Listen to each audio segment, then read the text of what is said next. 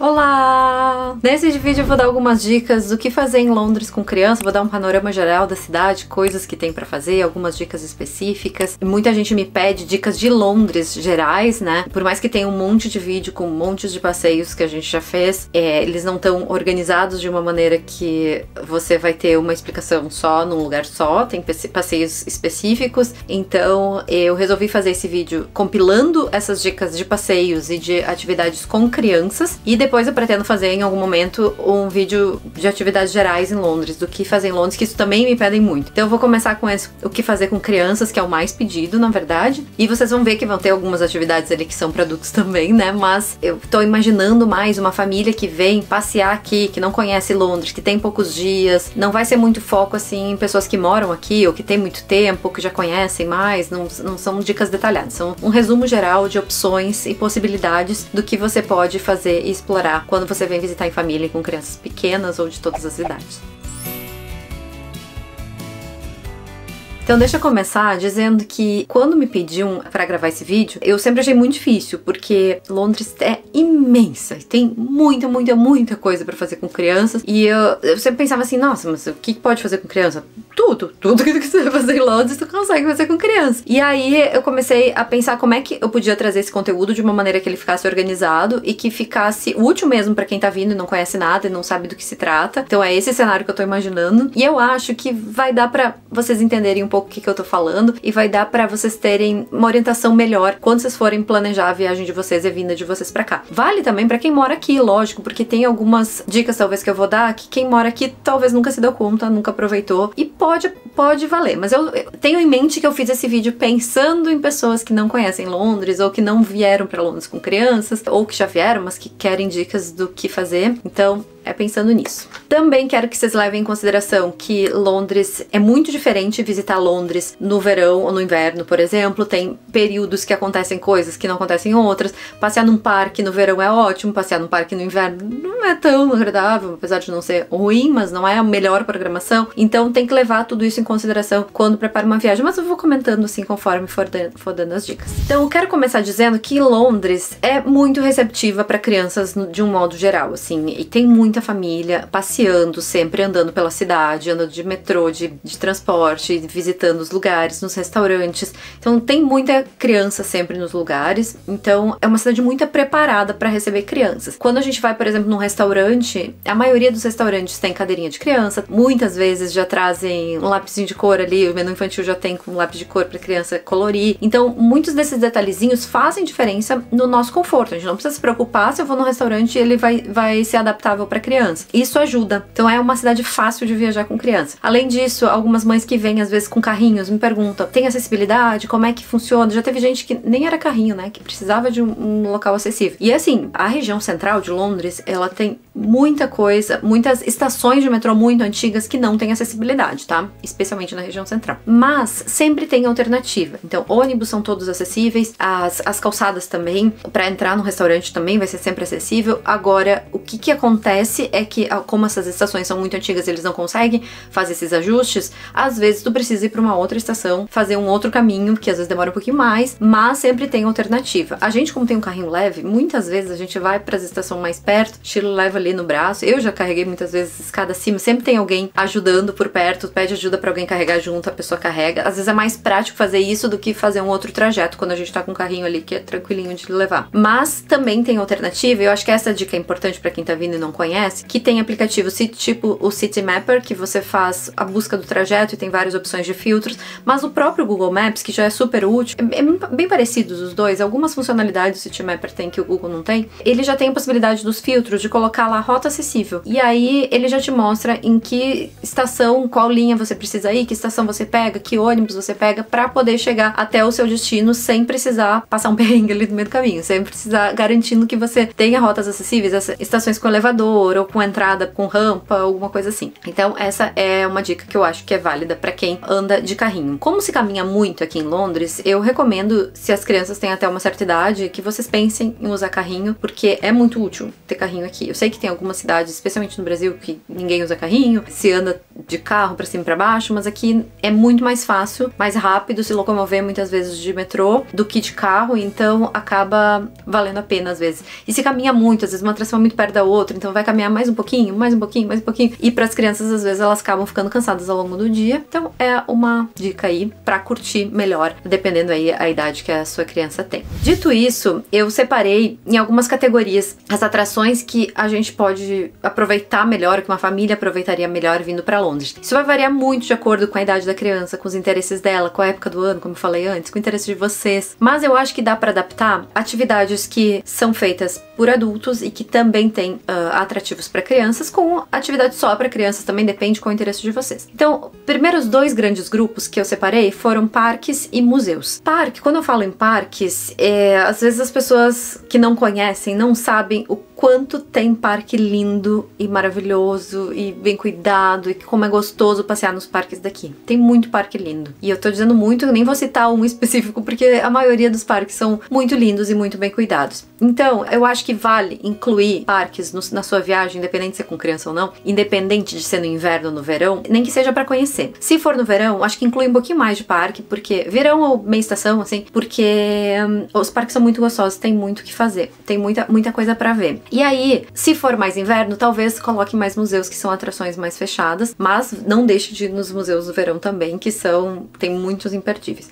Então, falando em, começando por museus. Os museus, a maioria deles tem também atividades pensando em crianças. Como eu falei, Londres é muito preparada assim, pensando em atividades que sempre incluam as crianças nas atividades. E aí tem museus que não são focados em, em crianças, em atividades para crianças, mas eles têm lá às vezes um cantinho que tem pensado nelas, que tem coisas relacionadas ao museu, mas que são com crianças, às vezes soft play, que tem alguns escorregas, algumas coisas assim para as crianças brincarem, para justamente dar essa oportunidade dos pais passearem e conhecerem as coisas, mas as crianças se integrarem com esse passeio e também fazer uma atividade mais focada em crianças. Então por isso que eu falei que museus eu acho que são sempre uma possibilidade. E aí vai depender dos interesses de vocês, é claro, que tipo de museu vocês querem mais. Aqui no canal eu já fiz, eu não sei quantos vídeos de museus, mas eu fiz muitos, porque a gente vai muito a museu e eu acho que eu já fiz da maioria dos que a gente já foi. Tem alguns que a gente não foi ainda, que teremos vídeos quando formos, né?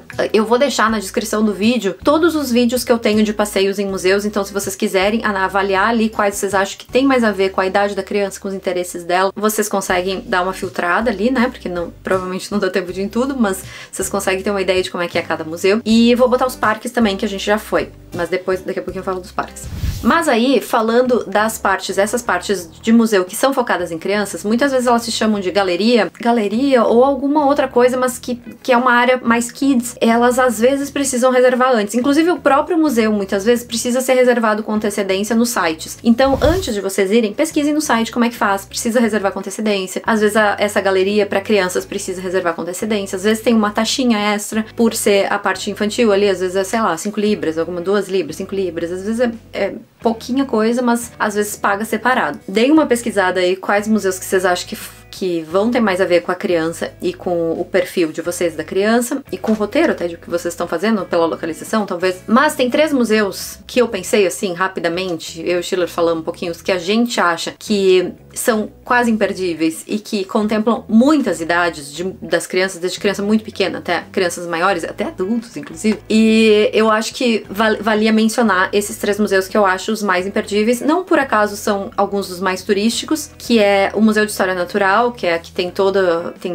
os animais, tem muitas coisas para ver, tem os dinossauros. Então, acho que todas as idades aproveitam. Eu tô até pensando em agora levar a Júlia, que a Júlia tá com quase um ano e ela não foi ainda. ela tá muito de se empolgar vendo os bichinhos na rua, então acho que ela ia ficar muito empolgada. Não é bichinho de verdade, né? Lá, lá lógico, mas só de ver assim, pessoalmente, ela fica empolgada vendo no livro, então acho que ela vai gostar. E a gente já foi muitas vezes com a Alice. Cada fase que ela vai crescendo, ela percebe coisas de uma maneira diferente e eu levo todos os turistas que vêm aqui nos visitar eu levo lá porque eu acho que é muito lindo, o prédio do lugar é muito lindo. Tem vídeo aqui no canal, vou deixar aí também para vocês assistirem se quiserem. Então esse é um. O segundo é o Museu de Ciência. O Museu de Ciência também tem várias coisas muito legais. Ele é muito interativo para as crianças olharem ali e, e interagirem. Tem uma área só de crianças que a gente nunca foi, mas que todo mundo me diz que é incrível. A gente nunca foi porque quando a gente tentou ir, é, a gente não conseguiu reservar porque a gente tinha ido de última hora. Eu acho que teve duas vezes que a gente foi e tentou e já tava lotado, por isso que eu eu falei para vocês se programarem com antecedência. Quando eu for, eu prometo que eu faço mais um vlog de lá pra mostrar para vocês. Mas como eu tive muitas recomendações de muitas pessoas, eu acredito que é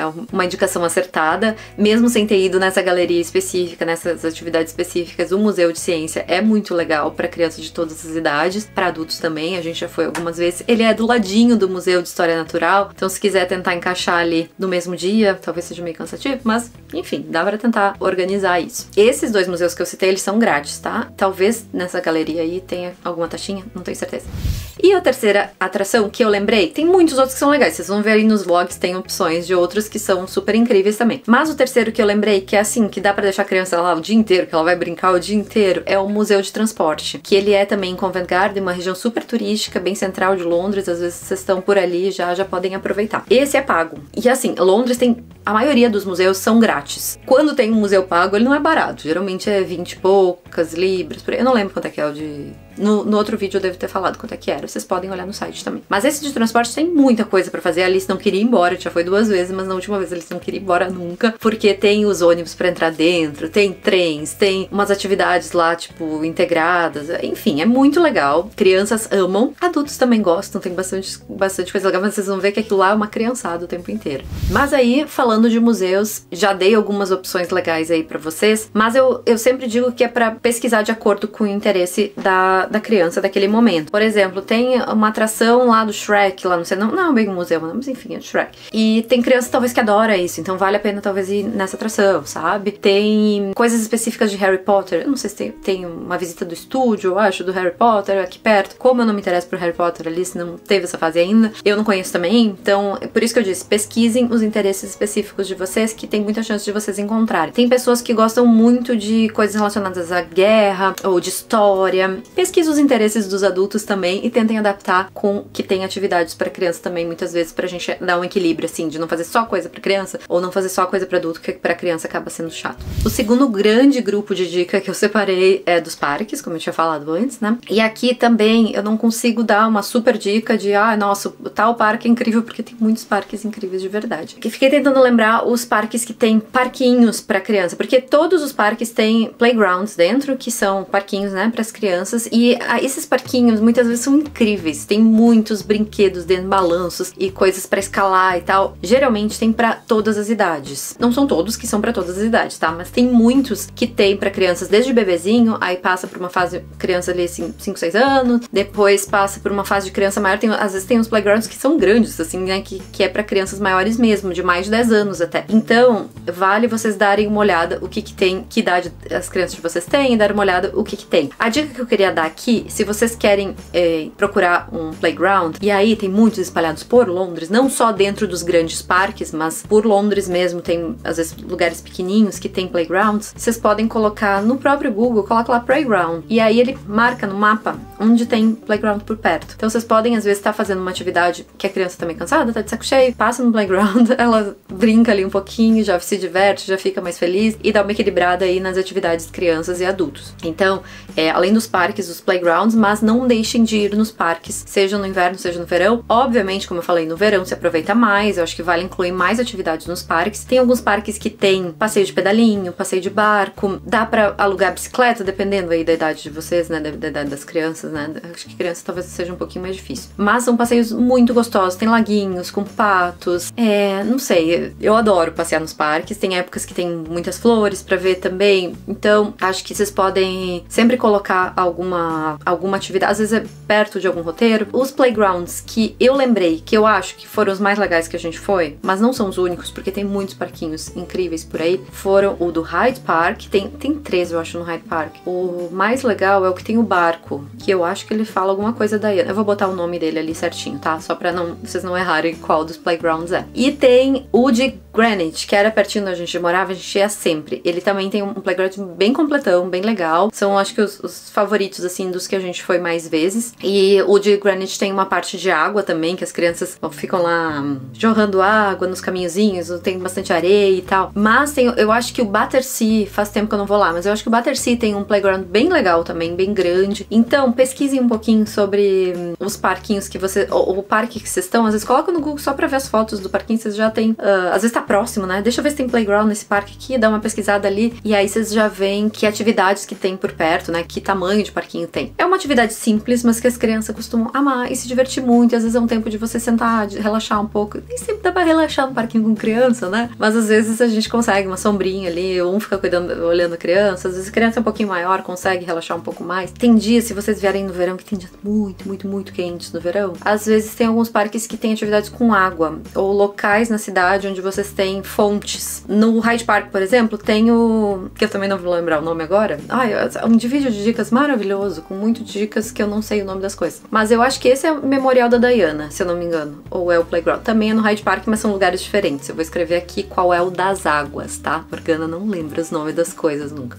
A gente já foi lá também. E ele tem, tipo, uma correnteza, assim, que dá pra fazer um circuito com, com as crianças no verão. É bem legal. Especialmente se o dia estiver muito quente, porque essa cidade fica insuportável quando tá muito quente. A maior parte do verão não é insuportavelmente quente, a maior parte do verão é gostoso. Mas se fizer um dia perto de 30 graus em Londres, provavelmente vai ser bem chato fazer qualquer programação, porque dentro do metrô fica insuportável, deve ficar uns 45 graus no metrô. Uh, entrar nos lugares, muitos lugares não tem ar-condicionado, então é, é tudo muito quente, sabe? E fazer esse tipo de atividade às vezes dá uma amenizada naquele dia que parece que nada encaixa de programação porque tudo é quente demais, lugar fechado é quente demais, lugar com sol é quente demais. Mas enfim, é isso que eu queria falar um pouquinho sobre parques e museus e agora vamos para as próximas dicas. E aí, além de parques e museus, tem uma outra dica que eu queria dar, que eu acho uma das coisas mais imperdíveis que Londres tem, que são as peças de teatro ou os musicais. Muita gente vai para Nova York pensando, nossa, vou ir no musical da Broadway, vou aproveitar os shows incríveis que tem lá. E eu acho que não é tanta gente que se dá conta que Londres tem um cenário musical e um cenário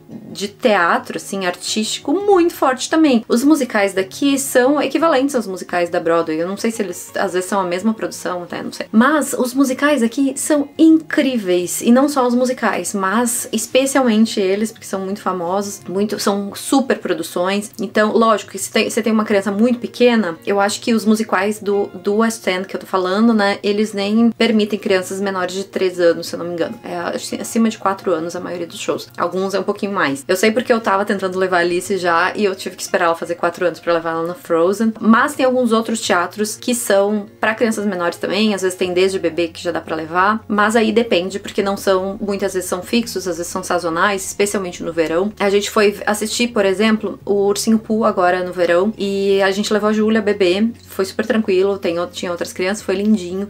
Então tem atividades, tem peças que são para crianças bem pequenas, mas o que eu queria ressaltar aqui eram essas peças da, do West End mesmo, esses musicais. Eu já fui assistir Aladdin, eu não fui muitos não, na verdade. Eu fui assistir Aladdin e fui assistir Frozen. E os dois são assim de cair o queixo. Frozen assim, ó, é sensacional, mesmo adultos. Isso, essa é uma dica para adultos também. Mas eu queria ressaltar que é um, é um, negócio assim que, sei lá, tu vai encontrar museus, vai encontrar parques em outros lugares, talvez, mas esses musicais são é outro patamar assim, que é difícil até de tu encontrar em outros lugares. Então, acho que vale muito, muito, muito a pena. Claro que eles são todos em inglês, para vocês entenderem, vocês precisam entender o mínimo de inglês. Talvez para uma criança que não fale inglês, mas que, que ame Frozen, não vai fazer tanta diferença porque são as músicas, só que são as músicas cantadas em inglês, né? Se ela conhece as músicas em português, talvez não seja tão atrativo, mas quem tem um mínimo de inglês é, é muito incrível, é muito legal. Quem conhece as histórias também, às vezes não vai entender inglês e a minha irmã foi com o inglês super básico que ela tinha na época, foi assistir Rei Leão e adorou também, sabe? Porque tu conhece a história. E acho que Rei Leão, Aladdin, Frozen são as mais, assim, populares, que são muito, muito, muito visadas pelo pessoal, porque elas são incríveis mesmo. Mas tem várias outras, tem Matilda, que eu queria levar a lista também, tem Wicked, tem, tem, tem vários outros, enfim.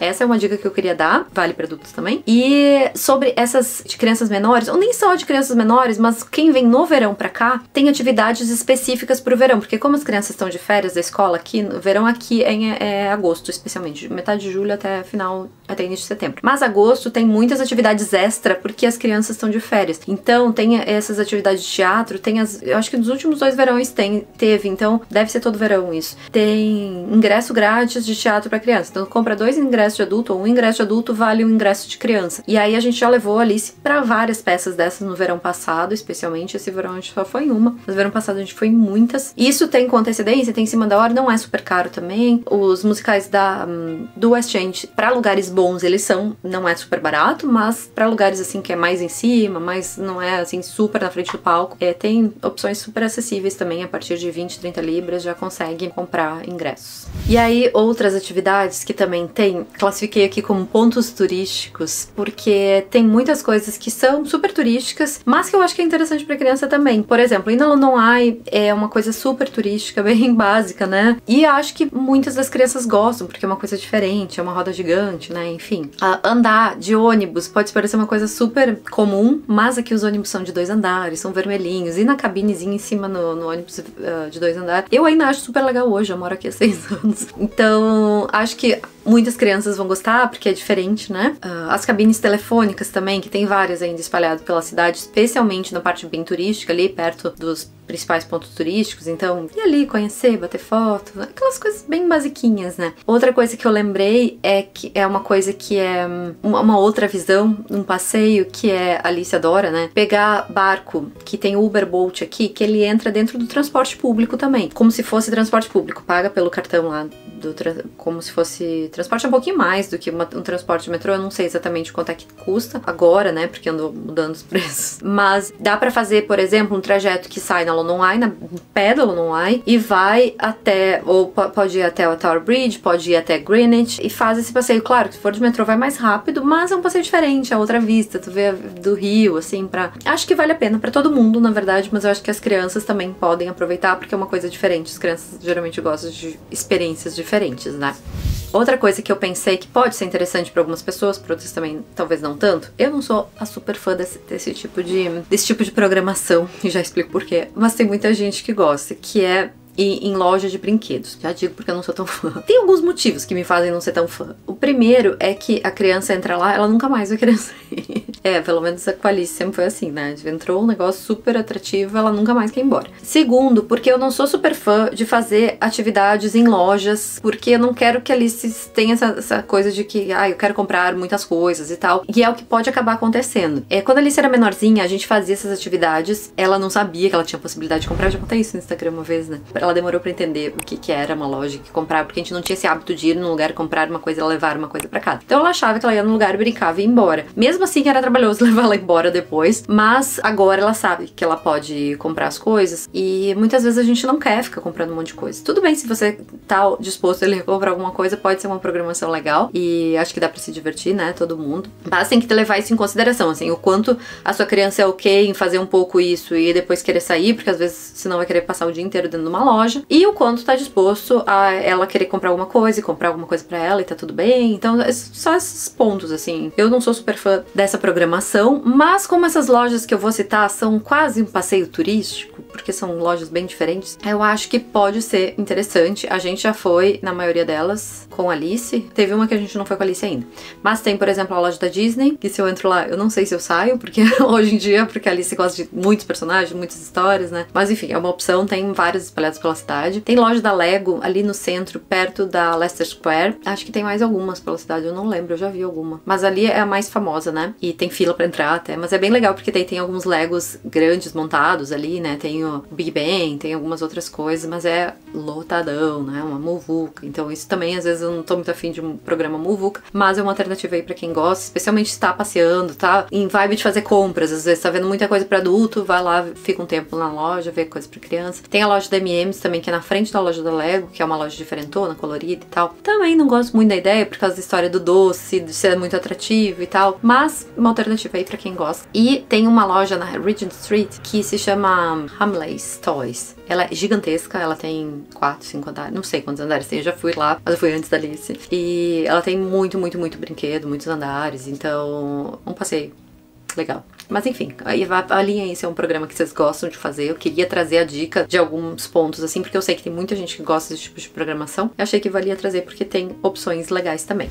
E a última categoria de atividades que eu queria trazer para vocês são atividades sazonais. Como eu falei no início, depende se vocês vêm no verão, se vêm no inverno, se de, é, enfim. Tem uma, especialmente, que eu queria ressaltar, que é Winter Wonderland, que começa em novembro, não sei, varia o dia dependendo do ano, início, meio, fim de novembro, e vai até a primeira semana de janeiro, geralmente. Winter Wonderland é um pedaço do Hyde Park que ele é fechado e separado para uma feira de Natal, digamos assim. Só que ela é gigantesca. O Winter Wonderland é gigantesco. Ele tem shows, ele tem pista de patinação, ele tem muitas lojinhas, aquelas lojinhas fofas, lindinhas. Tipo, eu não tinha experiência de feira de Natal antes de mudar pra cá, né? Mas é tipo o que eu via nos filmes, aquelas lojinhas bonitinhas, com coisinhas de Natal, tudo enfeitadinho, tudo lindo. E parque de diversões ao mesmo tempo, restaurantes, barraquinhas de comida, e parque de diversões com montanha-russa alta, com roda gigante, com todos esses brinquedos de parque, aqueles de pegar ursinho, essas coisas. Tem muita coisa legal. A gente ama aí. Tem também uma tenda que parece de shows, né? Que para mim é equivalente um pouco ao Oktoberfest de Munique, que tem tendas grandes com pessoas lá se divertindo, com música ao vivo, tocando o tempo inteiro. Então tem, tem muita coisa lá dentro. E tem os shows assim que acontecem, tem, é, enfim, imperdível para quem vem nessa época do ano. Dá um clima de Natal muito legal. É inverno, então tá muito frio. Tu pensa que não vai fazer atividade ao ar livre, as pessoas vão, tá sempre lotado. Desde a pandemia, te, antes era só entrar. Desde a pandemia tem que reservar com antecedência. Às vezes não precisa super antecedência, especialmente se for dia de semana, só reservar, não precisa pagar. Se é final de semana, horário de pico, acho que tem uma taxinha, não é muito caro, mas vale muito a pena para quem vem nessa época do ano. Além disso, eu lembrei de outra coisa sazonal também, que são as pistas de patinação no gelo, que ficam de. Depende aí, tem que pesquisar quais são as datas, mas ficam de dezembro até metade de janeiro, depende aí. Depende da pista, tá? Mas é, é um período curto de, do ano que fica, então quem tem interesse também, tem várias espalhadas pela cidade, tem uma dentro do Winter Wonderland, então também é outra atração que eu acho que vale pesquisar, dependendo da época que você vê. Além disso, eu ia dar de, sim, de dica de, para vocês dessa parte sazonal, eu acho que vale dar uma pesquisada. Tem sites que dão esse tipo de informação do que está acontecendo na cidade. O Time Out é um que dá bastante informação do que está acontecendo, mas pesquise no Google aí. Se, se souberem pesquisar inglês, melhor. Eu acho que ajuda, porque tem muita coisa que é divulgada em inglês. Mas pesquisem o que fazer em Londres no mês tal. Põe um mês o ano que vocês estão vindo, ou se já tá perto, já o que fazer em Londres agora, porque aí vocês podem pesquisar com crianças, sei lá. Vocês podem pesquisar peças de teatro que às vezes são sazonais, tipo essa do Ursimpu que eu fui. Às vezes tem eventos específicos que tão atrati são atrativos para crianças. Às vezes tem exposições. A gente foi numa exposição ano passado, ano passado, ano retrasado, já faz tempo. Do Alice no País das Maravilhas que tava tendo no V&A Museum. Então, vale dar uma pesquisada porque tem essas sazonalidades e tem atrações às vezes muito incríveis que pode dar coincidência de vocês pegarem, tá? Quem vem no verão também lembrei que é sazonal. É a visita no Palácio de Buckingham. Isso é quase mais atração para adulto, mas eu acho que criança ia gostar daquilo também, porque é lindo. É uma coisa que eu, eu já fui uma das atrações mais legais de Londres, é de julho a setembro, por aí. Tem que dar uma pesquisada. Muda às vezes as datas de acordo com o ano. E eu acho que é isso, assim, as dicas gerais que eu queria dar para programar a viagem de vocês para cá. Eu queria também de novo ressaltar, eu já falei no início, mas eu queria de novo ressaltar em olhar a idade da criança, os interesses dela do momento e dar uma pesquisada o que que tem, que pode ter, encaixar assim, sabe, com os interesses dela, que sempre que a gente tiver mais acertado assim no perfil da criança, eu acho que, que funciona melhor, todo mundo fica mais feliz. Mas se vocês não souberem por onde começar, eu espero que esse vídeo tenha ajudado. Se quiserem mais inspirações ou entender melhor os passeios, olhem aqui na descrição dos vídeos, assistam os vídeos de Londres para vocês verem as possibilidades, as diferenças, enxergar um pouco como é que são os lugares, eu acho que ajuda vocês a decidir e planejar uma coisa mais acertada aí pro passeio de vocês. Espero que o vídeo tenha ajudado e se gostaram, comentem aqui, podem fazer perguntas também, se eu conseguir ler, eu respondo na medida do possível. Se tiverem vídeos para pedir de lugares que eu não fiz vídeo ainda, por exemplo, que vocês gostariam de ver, gostariam de entender, me peçam aqui nos comentários, que eu sempre, sempre tô querendo ideias aí para eu construir isso. Às vezes eu fico meio sem onde é que a gente pode ir, o que, que a gente pode fazer, o que, que, que eu não gravei vlog aí ainda. E eu adoro poder explorar esses lugares diferentes que a gente não foi ainda para trazer aqui para vocês, tá bom? Se gostaram do vídeo, se inscrevam no canal e a gente se vê no próximo vídeo. Um beijo!